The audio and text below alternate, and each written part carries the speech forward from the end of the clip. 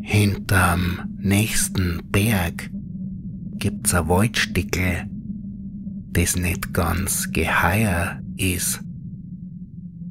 Die Leute sagen, das ist der Saugram. Und das liegt an der Geschichte, die man sie zu dem Kreuz verzeiht. In einem von die Dörfer außen ume soll nämlich mal ein kleiner Bur krank worden sein. Und nix hat er mehr helfen können. Die Krankheit ist jedem völlig unbekannt gewesen. Wie ein wildes Viech ist er worden. Hat so umeinander kaut und die Leid beleidigt, dass nen Boy in sein Bett festbinden haben müssen. Erst wie ein älterer Pfarrer davon gehört und nach dem Rechten gesehen hat, ist mir draufgekommen, dass der Bur vom Teufel besessen ist.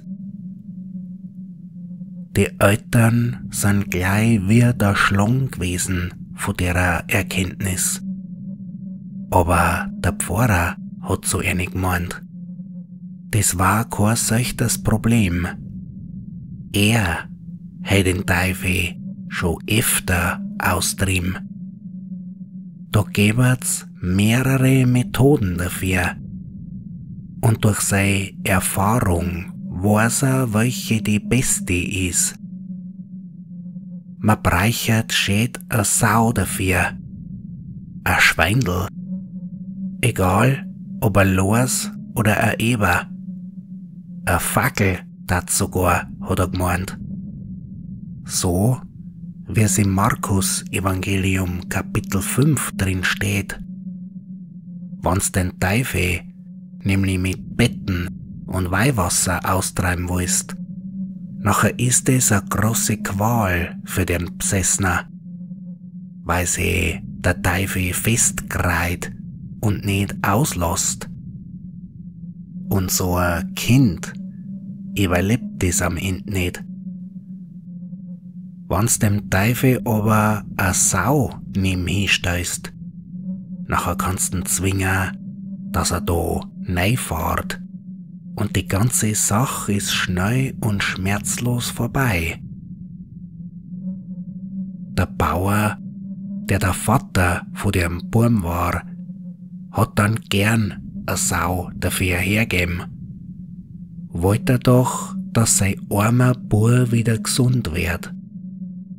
Und so ist nachher gekommen, dass ein Schweindel neben das Bett vom Burm hintrieben haben.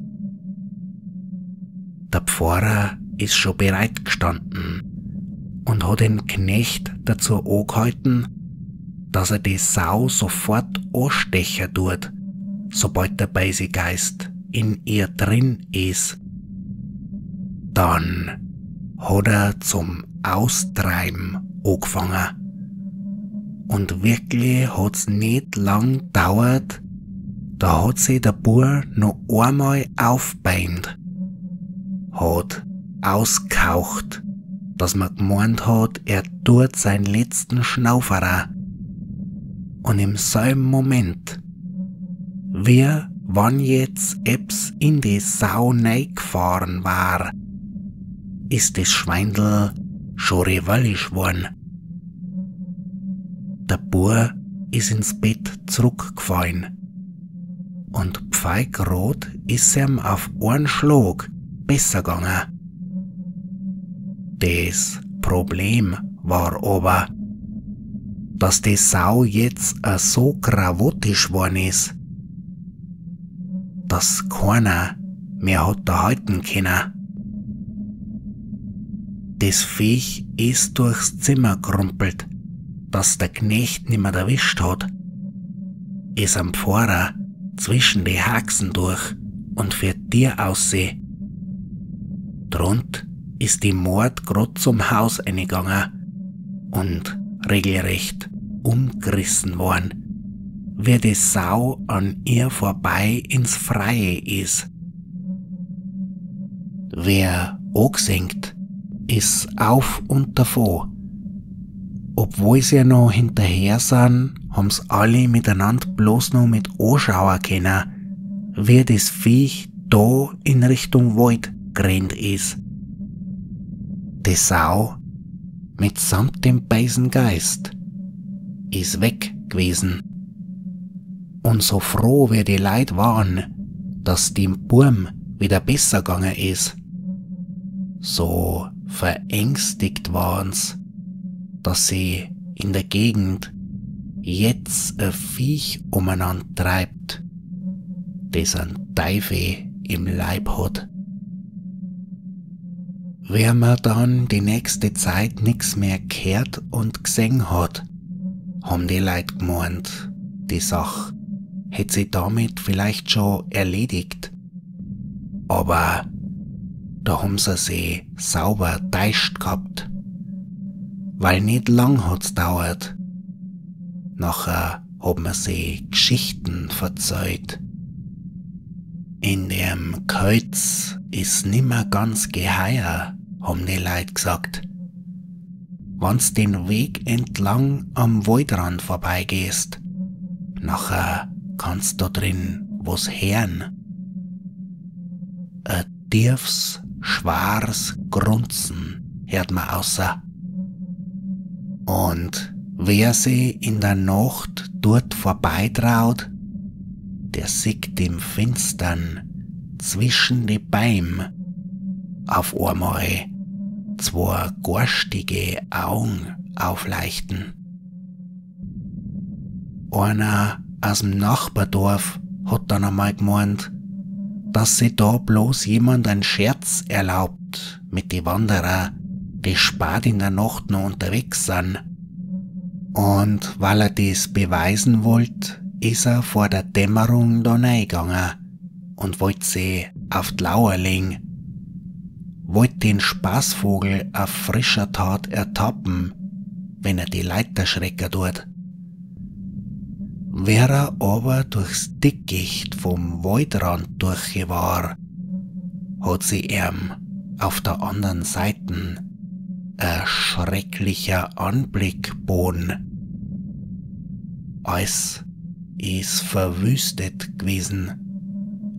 Der Boden aufgerissen und umgewöhnt. Die Bäume waren angeknickt und selbst dicke Stämme waren einfach in der Mitte durchbrochen.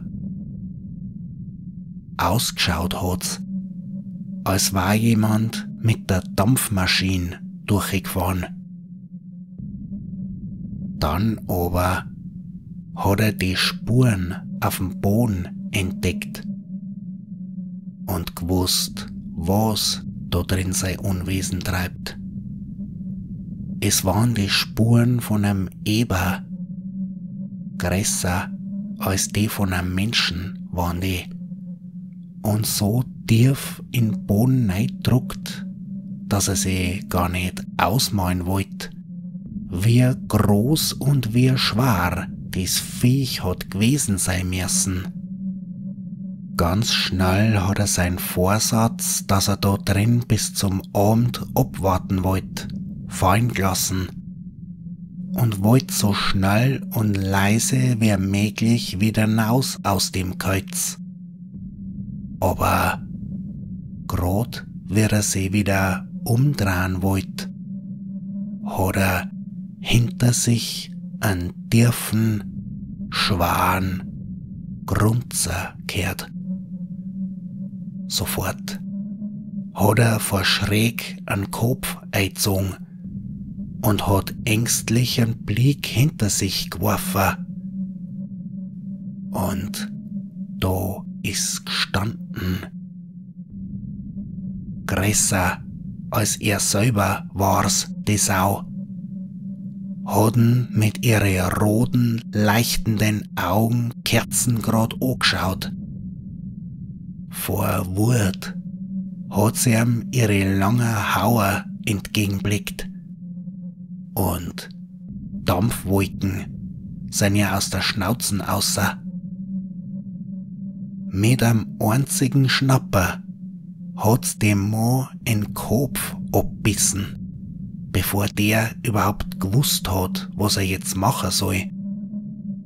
Und das ist bloß eine von die Geschichten, die man sich über das Waldstickel verzeiht. So ist nachher gekommen, dass man das Kreuz bloß mehr an Saugraum geheißen hat. Für das Ungeheuer aber hat man sich auch einen Namen ausdenkt. Und weil's heißt, dass das Letzte, was ihre Opfer noch mitkriegen, ein lautes Grunzen ist, nachdem sie sie von hinten angeschlichen hat, sagen die Leid, im Saugram geht der Grunzer um. Jedem, der will, verzähl ich die Geschichte.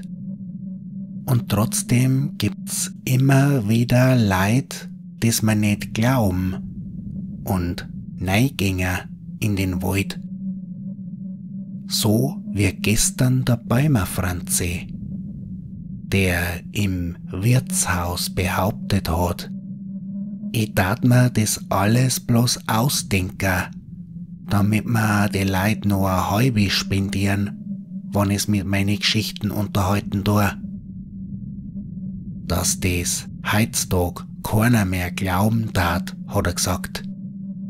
Und man schon allein daran merken kann, dass alles bloß ausdenkt ist, weil ja niemand wissen kann, was die Leute als letztes zum Herrn kriegen, wann noch keiner wieder lebendig zurückgekommen ist und das hätte verzeihen können.